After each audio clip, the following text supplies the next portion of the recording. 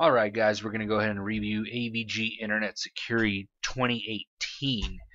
Now, if you want to download a free trial so you can try it just like I am trying it, go to Google and type in AVG Internet Security and then click on this link here, the one that says AVG Internet Security Software Online Protection Free Trial. Click on that, then click on the free trial button right here. Once you download it, this is what it looks like here. This is the full, complete version of AVG. This is the paid version that we're going to be trying out. Now the free version, I tried it out uh, a while ago and it screwed up my computer. I don't know if you guys have seen that video, but I downloaded AVG antivirus free 2018 and man it screwed up my computer. I couldn't even run my screen recorder to even show you guys what was going on. That's how bad it was. I had to go in safe mode and uninstall it. But here we are with the full version and voila, the full version works well. So I guess you get what you pay for. But let's go ahead and look through this paid version of AVG. Now in 2018, this year, it has changed a little bit, but it's still user friendly. That's what I've always liked about AVG, how it's user friendly. Everything is right here. As you can tell, basic protection, if you had the free edition, all you can use would be this right here, the basic protection. But since we have the full protection, we have these unlocked right here. Hacker attacks, privacy, and payments. Now, there's a big scan computer button right here. When you hit that button, it looks like it does There's a lot of different scanning options, but when you hit that big button, it looks like it it looks to see if you have browser add-ons first. Then it actually scans your whole computer. My guess is that this is the quick scan. I don't think it's the it's the complete scan. Which what I recommend is you use the complete scan because it's going so fast. You see that the percentage it's going kind of fast. So it did find some performance issues there. To fix that, you would just click on it and um,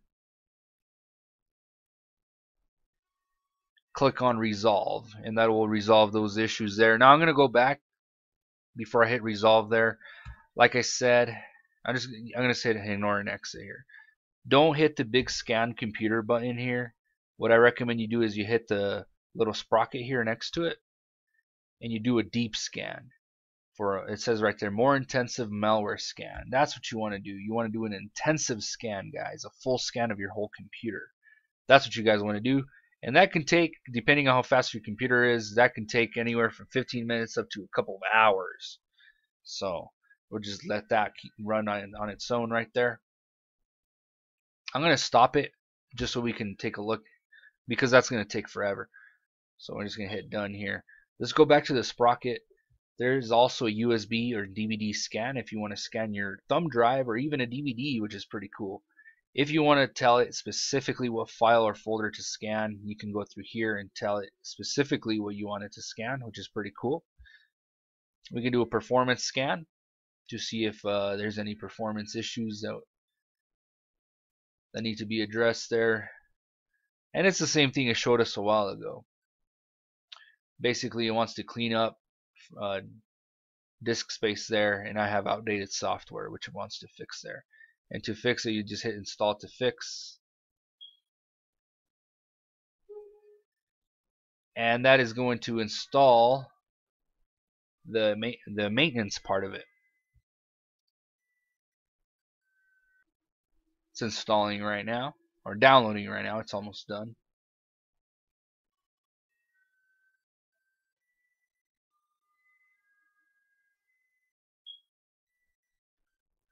Okay, so in order to do that right there, you need to get AVG PC TuneUp, which I I, th I thought I did have installed here, but that's another video right there. I've already made a review on PC TuneUp, so if you guys want to take a look at that, uh, look at my video for PC TuneUp. I'm just going to exit right there. So the performance scan, you will need PC TuneUp for that. If you go up here to where it says my AVG, it'll tell you what you have. So I have installed antivirus right now. I know I have PC TuneUp installed. I don't know why it's not showing it there. But I do have that installed. Alright. And you can also do a boot time scan. That's to scan um, when the computer boots up. That's for more crazy viruses that you might have that are hard to get rid of.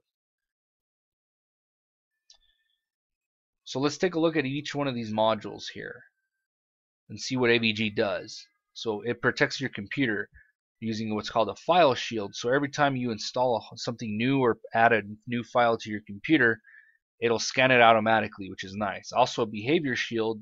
This, uh, like it says here, warns you if any application behaves maliciously. So if AVG catches a program acting a little suspicious, it'll block it and tell you. Now it's got web and email protection. So it's got a web shield there, blocks unsafe downloads, and an email uh, email shield. So if you happen to download an attachment that has a virus in it, it'll pick it up quick, which is pretty good. Protects you against hackers, so it does have a firewall. It has a built-in firewall, and if you want to look at those options, you click on this downward arrow right here, and you can look at network connections, logs, and application rules. For example, application rules here, you could choose which applications you want it to run or not and it's got ransomware protection, which is really good, guys. Today we have a really big threat with ransomware. Basically, ransomware is a virus that takes over your files and encrypts them, and you have to buy a key to uncrypt them. And even if you do give the perpetrator money, he might not he might not even unlock them for you. He might just keep your money. So this good that uh, AVG has that protection let's go ahead and uh, take a look at it. So it's on right now, and it's, set for smart mode right now, which trusted apps can change or delete files for protected folders, but untrusted apps require your permission. So this will block uh, ransomware from doing anything. Now you can get a little strict with it. If you go to strict mode, anything that tries to change or delete files will be blocked. We'll keep it a smart mode for now, but if you know if you're if you want to be super safe, strict mode would be the way to go. But although that would probably stop you guys from doing some, you know, basic tasks on your computer. You can tell it to protect folders here. You can add what folder you want it to protect. Let's say you have your work folder. You add it here immediately, guys. Alright. Blocked and allowed apps. So here you can manually block or allow an app.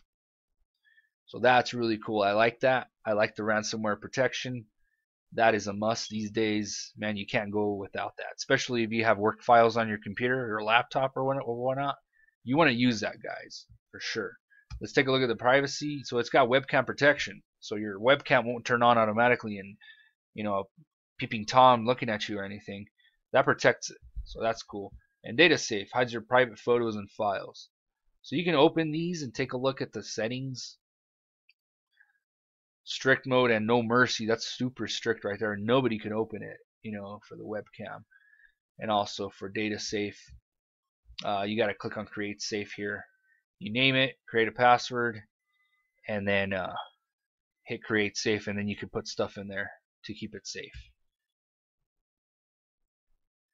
Let's take a look at the payments module here the anti-spam, of course, blocks spam and dangerous phishing emails, and a fake website shield. So there's a lot of fake websites out there, guys. So AVG will let you know if you're accidentally went to a fake website. Because you don't want to give people information through a fake website. That's how they steal your password.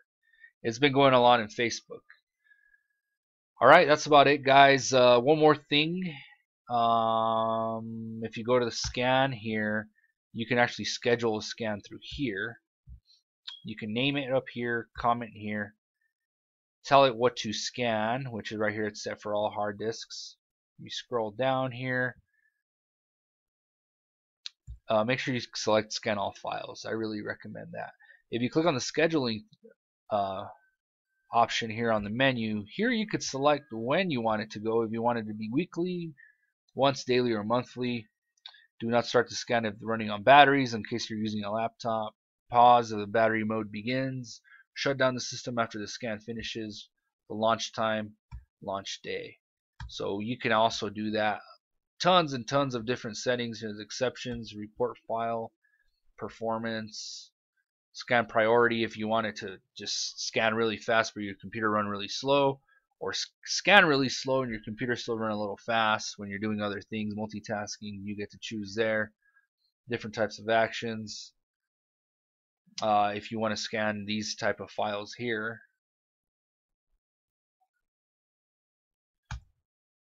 And sensitivity here. I mean there's a lot of stuff you could do here scan and of course we were, we were just looking at that. And I think that's about it guys. If I missed anything let me know. Also if you go to the menu button up here you can look at the settings again. You can look at the quarantine what's in there. Uh, what else was in there if you need use the file shredder here it is. You select the file or folder you want to shred by clicking on this button here. You select what you want to shred and then you shred it. And what else? Support there's support.